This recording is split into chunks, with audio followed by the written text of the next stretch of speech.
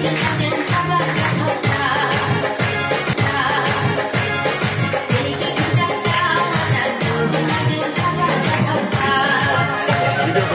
bro, video bro, video